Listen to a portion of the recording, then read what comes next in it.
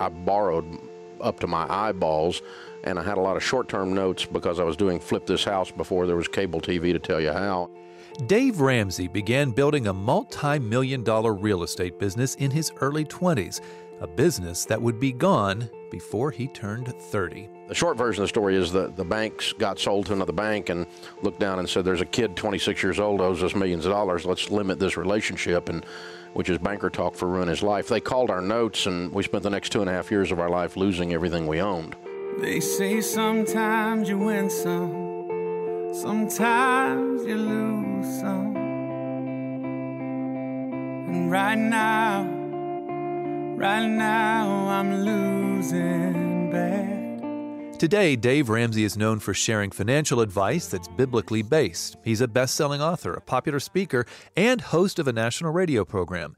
Dave is also our guest on this episode of GPS God, People, Stories. I'm Phil Fleischman. And I'm Jim Kirkland. Dave Ramsey's not the only one talking about financial things on this episode. Billy Graham will have something to say about Christmas spending.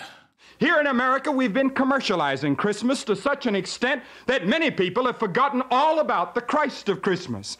You'll hear more of Billy Graham's comments right after Dave Ramsey shares his story. But you don't have to wait to learn more about the Christ of Christmas and how he can change your life. We can tell you all about Jesus at this website, findpeacewithgod.net. That's findpeacewithgod.net. GPS. God. People. Stories. I didn't grow up in church and didn't grow up walking in faith. And so after my wife and I got married, she announced one morning that we were going to church. And I said, uh, We aren't doing anything. It's Sunday. I'll be watching football and drinking beer because uh, that's what I do on Sunday. So Dave didn't learn a lot about Christianity while growing up, but he did learn a lot about real estate. His parents owned a residential real estate company. And so we were always going to, you know, motivational seminars and goal setting and Zig Ziglar and Earl Nightingale and Paul Harvey and that kind of stuff. And so, you know, I, I was always hearing the, the success formulas, and, and that's what I was a student of. Financial success was a lot more important to Dave than was spiritual success. But it was at one of those motivational type seminars that Dave would discover his need for Jesus Christ. It happened after he was married. The guy at the sales conference said, uh, you know, here's how you win at business, and he walked us through everything, and we, he had great credibility by the time he was finished talking because he was who we wanted to be at 22 years old. Me and this redneck buddy of mine that were there, and and he said, and you need to know God if you're going to win in business, because if you don't know Jesus, then you're not going to value people. And people in business who don't value people uh, struggle in business because they, they see everything as a transaction. And so he and I went back to the hotel room and got the Gideon's Bible out of the nightstand at the Holiday Inn, which was completely useless to us because it was old King James. And so Shakespeare and Jesus, I mean, we didn't have a chance. when he got home from the conference, Dave said to his wife, Sharon, we're going to church. And she said, Who are you and what have you done with my husband? And uh, we wandered into the back door of this little church of about 400 people, and that pastor and his wife, long story short, led me to the Lord a few months later in my early 20s. And I don't want to gain this world, but lose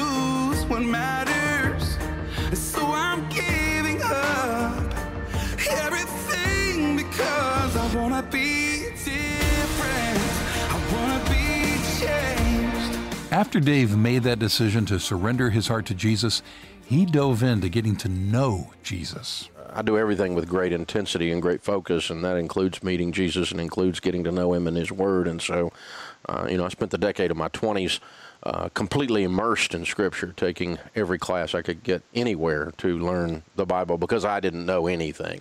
The preacher would be preaching and saying, You know, when they threw Joseph in the hole, and I'm like, Nope, don't know Joseph, don't know the hole.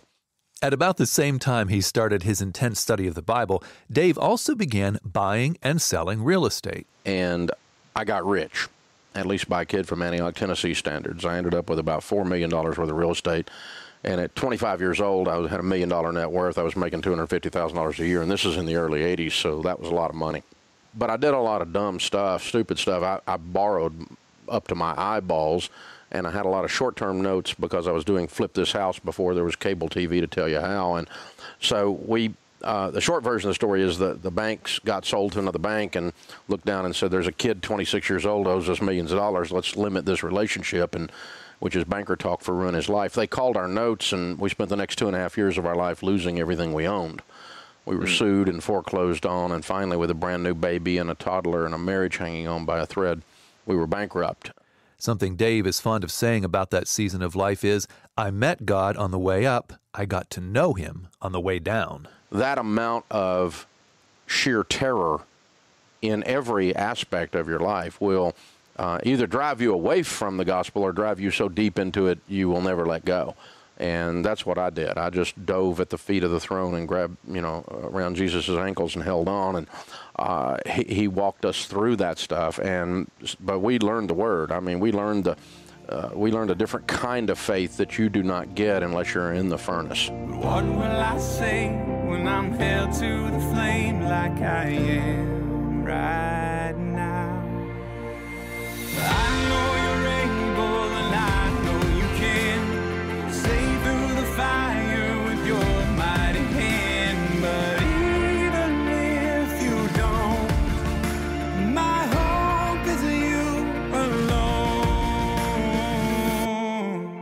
Dave and his family were in the hottest heat of that furnace for about two and a half years. I mean, I was a 26 year old kid. I had no idea what I was doing, and, and, and I didn't know how to be married. I didn't know how to be a daddy. I was a brand new believer. And uh, so I'm still I'm trying to learn how to do all these things at one time, and in the midst of it, can't keep the water turned on at the house, and stuff's being foreclosed on, and we're being sued, and they're scarfing money out of accounts, and it was just brutal. So the business, you know, it, we fought it and fought it and fought it and fought it. We almost made it out, but not quite at the end there. Somewhere in the midst of the furnace, Dave got hold of the biblical promise that God has a plan for each of us, including him. The classic, you know, Jeremiah 29, that, that God has a plan for me. My Heavenly Father, in spite of all of this, is crazy about me. And it's not to bring me harm, but to bring me hope. And I couldn't see hope in the middle of all of that but I couldn't see not having hope. Whatever hope Dave and Sharon had was both strengthened and put to the test by the roller coaster ride that was their life for about two and a half years. One minute, they would be experiencing an unexplainable peace. The next minute, they'd be rattled by a phone call with more bad news. I remember in August, we filed bankruptcy in September of 88, and in August of 88, I've marked it in my Bible. I was reading about 4 o'clock in the morning. I couldn't sleep, and I hit Romans 5, rejoice in your suffering. And I looked up at God and I said, right, sure, I'll do that. Not. And, uh, you know, because suffering produces perseverance. Oh, okay. And perseverance, character.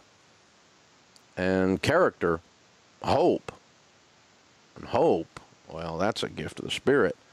And, you know, I just started walking in that scripture going, okay, I got this you got this, I got this, I can do all things through Christ who strengthens me. And I just started bathing in that in, in my weakness, He's made strong.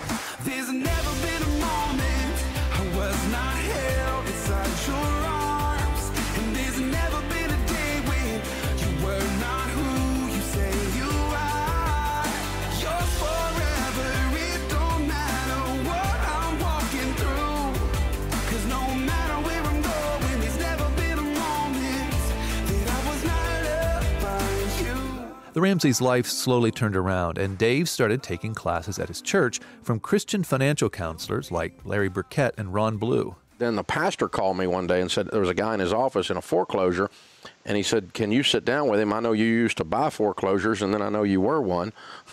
so I sat down with the guy and actually called the mortgage company and worked out a deal and kept him from losing his house. And well, from there on, a financial ministry was born at that church where I'm sitting down with couples and individuals showing them how to do a budget and how to negotiate out of their credit card debt, how to work their way out. And so it was a natural place for my my academic training and my horrible experience that I'd gone through to come together and create a ministry. And it, it, just blew up. I started teaching a little Sunday school class. There were 10 people, and by the time I finished teaching it a few years later, there were 500 in there.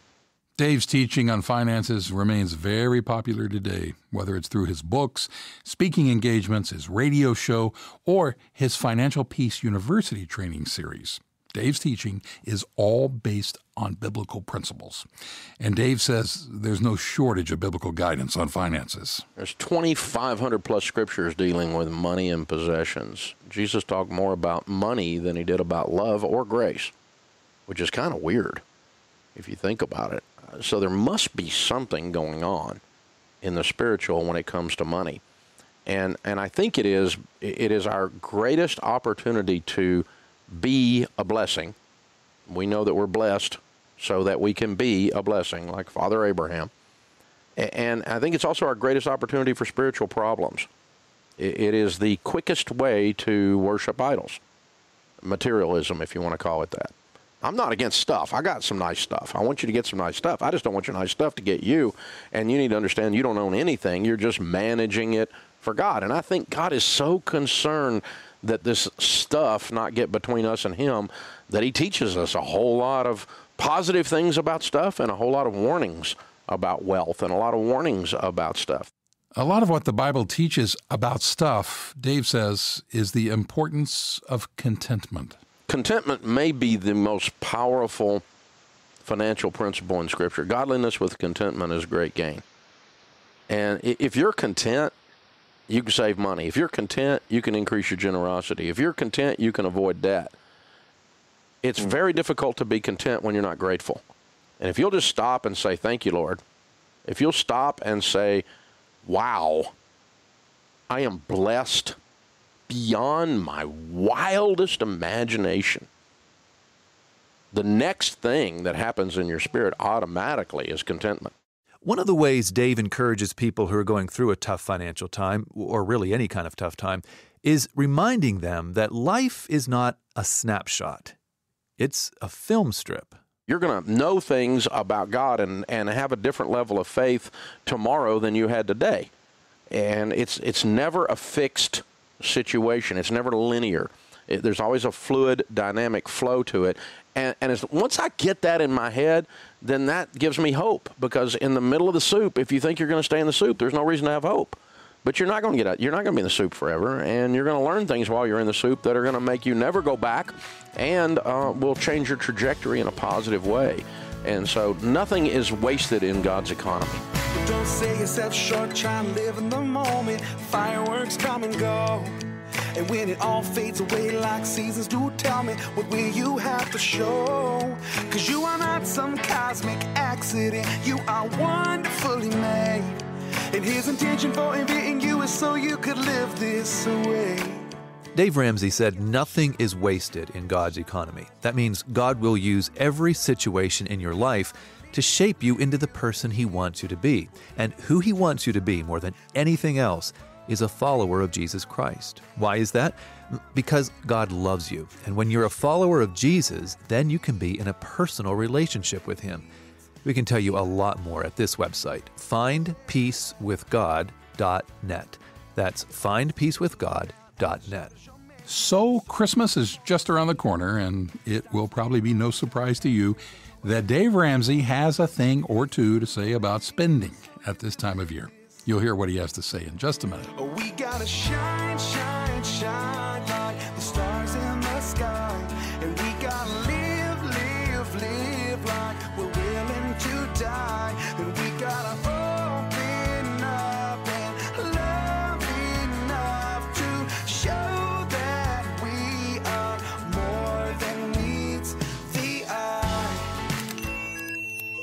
You're listening to GPS God, People, Stories, a podcast production of the Billy Graham Evangelistic Association. Here in America, we've been commercializing Christmas to such an extent that many people have forgotten all about the Christ of Christmas. Billy Graham. And as I saw the holiday crowds rushing from store to store to get last minute presents, I could not help wondering if we hadn't lost something of the real meaning of Christmas. They have forgotten that it is the celebration of the birthday of Jesus Christ. One of the greatest sermons ever preached was delivered on that occasion of the greatest historic event of all time. This sermon was preached by the angel on the night of Christ's birth. That first Christmas service was conducted not in a temple or a cathedral or synagogue, but in the great out of doors, out in the fields. The tidings of Christ's birth echoed from the skies. The angel of the Lord proclaimed the good news to the lowly shepherds. The shepherds, though poor and possibly illiterate, could discern the voice from heaven above the noisy din of earth's confusion. Down in your heart, you can receive this Christ of Christmas, and He can bring the joy and the thrill and the glory such as you have never known if you will give your life to Him. Billy Graham, he is in his 100th year of life, and he's preached a lot of Christmas sermons in that time, like the one in 1959 that you just heard excerpts from. You can listen to the rest of that message by going to the Billy Graham audio archives. It's at billygrahamradio.org. When you get there, you'll find more than 1,600 messages there, including quite a few Christmas messages. And you can listen to all of them for free. You don't even need to register.